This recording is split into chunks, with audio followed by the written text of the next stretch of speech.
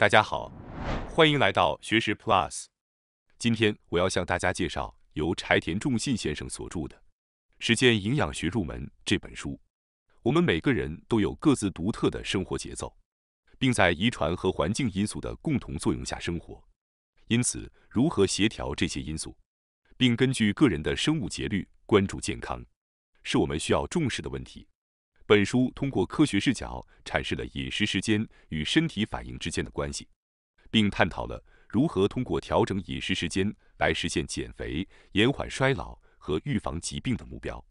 今天视频的内容包括以下三个部分：第一，什么是时间营养学；第二，重置生物钟；第三，早型人与夜行人的区别。首先是第一部分，什么是时间营养学？大家是否在减肥过程中曾遇到过这样的困扰？经常去健身房锻炼，但体重却丝毫没有减轻；严格控制卡路里的摄入，但依然看不到体重的变化。尽管进行了和年轻时一样的运动，但瘦下来却变得越来越困难。许多人即使付出很多的努力去减肥，却因为无法获得预期效果而感到失望。那么，为什么节食和运动有时达不到理想的结果呢？这里的关键在于与身体内部机制的配合。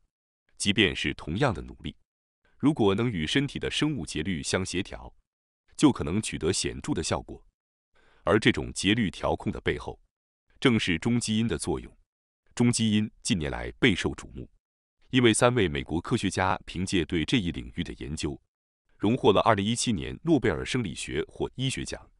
中基因是我们体内的基因调控机制，负责调节生物钟，以二十四小时为周期调控身体的节奏。比如，有些人是早行人，在早晨更有精力；而有些人则是夜行人，即使熬夜也不会感到特别困倦。这些差异的根源就在于中基因的影响。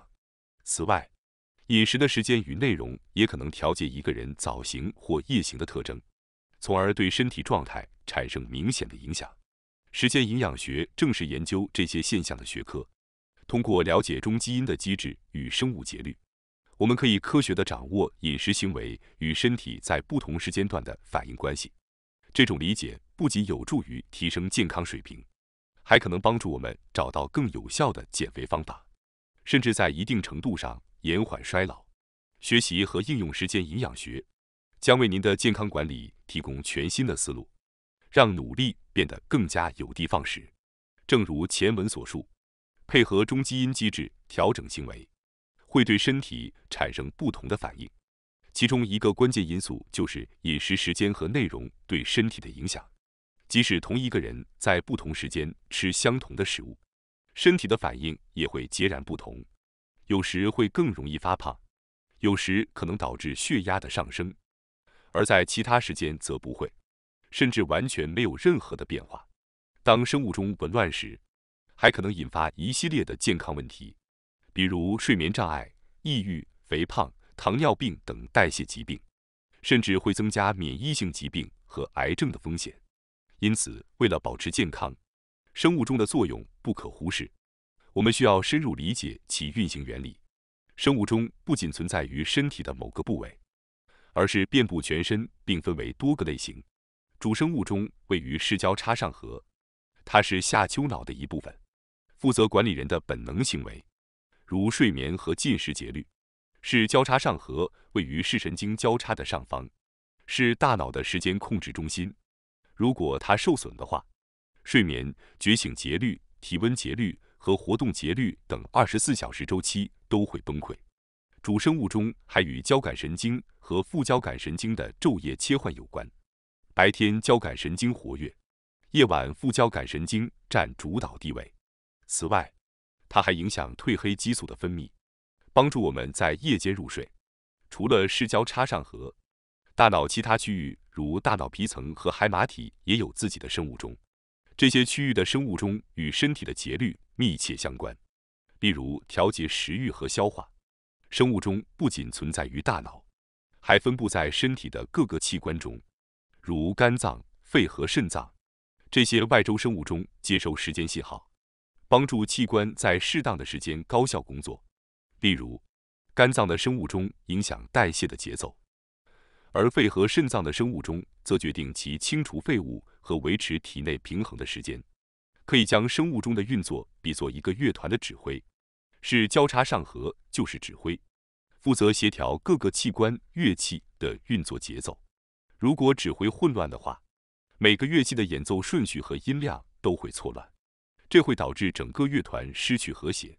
同样，当生物钟失调时，身体的运作也会紊乱，引发各种不适甚至疾病。理解并维护生物钟的正常运行。是保持健康的基础。掌握这些知识，我们可以根据时间调整饮食和作息，帮助身体更好的运行。这不仅有助于预防疾病，还会大大改善生活质量，让我们活得更加健康和高效。接下来是第二部分：重置生物钟。实际上，人体的生物钟并不是严格的二十四小时，而是大约二十四小时十五分钟。因此，为了避免身体出现不适，我们需要不断去重置生物钟的节律，使其与二十四小时的周期保持一致。主生物钟和外周生物钟的调整方法有所不同。光照是影响主生物钟的最重要因素。每天早晨充分接受阳光的照射，有助于同步主生物钟的节律。因此，保持规律的生活方式尤为重要。如果在深夜使用手机，可能会影响主生物钟的节奏。许多人可能已经注意到了。睡前使用手机产生的蓝光会延迟生物钟的运行，导致生物钟的节律超过二十四小时，结果就是早晨起床困难，长期下来可能会导致身体的不适。与主生物钟不同，外周生物钟的节律受饮食、运动和温度变化等多种因素的影响。合理安排饮食时间，尤其是早餐，可以有效地帮助重置外周生物钟。使身体功能得到更好的协调与优化。研究表明，调整早餐与晚餐的热量分配有助于减肥。在一项实验中，研究人员将参与者分为两组，第一组的热量分配为早餐、午餐、晚餐分别摄入七百、五百和二百千卡，第二组则为二百、五百和七百千卡。结果显示，第一组早餐高热量的负为减少的更显著。此外，流行病学调查也表明，晚餐摄入过多热量会增加肥胖的风险。跳过早餐的人通常在午餐或晚餐时食欲大增，更容易摄入高热量食物，同时身体的活动量也会因此降低。从时间营养学的角度来看，早餐至关重要。为了维持良好的生物钟和健康状态，我们应该坚持吃早餐。并合理安排每日的饮食时间和热量分配，预防代谢综合征的饮食频率为每日两到三餐。对于每日两餐的安排，考虑到生物钟，早餐与午餐的组合效果较好，而午餐与晚餐的组合效果不佳。尤其是早餐与午餐的组合有助于优化生物钟，推动早型化，并有效防止肥胖。然而，现实生活中由于社交等因素，晚餐往往难以避免，因此早餐和晚餐的组合可能更符合实际的情况。如前所述，早餐在时间营养学中至关重要，但许多人因早晨时间紧张，不想花费过多精力准备早餐。此时，罐头食品等简便食材是一个理想的选择。例如，可以使用金枪鱼罐头制作金枪鱼沙拉或三明治。金枪鱼富含 DHA。EPA 和蛋白质能补充早餐中容易缺乏的营养，青鱼罐头也是不错的替代品。其他适合早餐的食材包括豆制品如豆腐、纳豆等，乳制品如牛奶、奶酪、酸奶，水果和蛋类如香蕉、鸡蛋。这些富含蛋白质的食物不仅能提供饱腹感，还能改善夜间睡眠的质量。最后是第三部分：早型人与夜行人的区别。人类大致可以分为两类，早型人倾向于在早晨和上午发挥最佳状态，夜行人更擅长在傍晚至夜间的时间段集中精力。这些倾向有时源于遗传的因素，但大多数人由于学业、工作或其他社会性因素的影响，生活节奏被打乱，呈现出早行或夜行的特征。例如，有些人因工作时间的限制，被迫采用夜行作息，因而担心自己的表现是否达到最佳的水平。让我们来看一个实验：研究人员将足球运动员分为早型和夜型两组，分别在上午九点和下午六点测试他们的跳跃能力、六分钟冲刺以及敏捷性。结果显示，早型选手在早晨的测试中表现优异，而夜行选手则在下午的测试中。表现出色，无论早型还是夜行，当他们被安排在不适合的时间段进行测试时，表现都会明显下降。在另一项实验中，研究了早型、中间型和夜行人群在骑行时的最佳表现时间，时间分别为早行人下午两点至三点，中间行人下午四点至五点，夜行人晚上九点至十点。研究结果表明。早行人群的表现波动较小，而夜行人群在不适应的时间段内，表现仅能达到其能力的百分之七十。因此，提升表现的关键在于，早型人群应充分利用上午的时间，安排重要的任务或训练；夜行人群则应将关键活动集中在傍晚至夜间，以提高效率。无论是早行还是夜行，如果能根据自身生物钟调整作息。协调与社会的时间，就不会出现明显问题。因此，由于工作被迫采用夜行作息的人，也无需过度焦虑。饮食方式也会对早行和夜行产生显著的影响。如前所述，末梢生物钟会通过进食刺激与生物节奏同步。在一项实验中，科学家破坏了小白鼠的是交叉上颌负责主生物钟的区域，但当每天在固定时间喂食时，这些小白鼠仍能形成进食的节奏，将第一餐时间视为早晨的起点。此外，将进食分为两次，并调整每餐的食量时，发现无论是早餐还是晚餐，肝脏的节奏都会被食量较大的那一餐所影响。如果晚餐吃得过多，会导致肝脏的生物钟峰值延后，从而使人趋向夜行的作息。相反，如果早餐摄入较多，而晚餐较少，则更容易形成早行的作息。这说明合理控制进餐时间和食量是调整作息的有效方法。早餐吃得丰富，晚餐适度节制，可以让身体更容易向早行发展。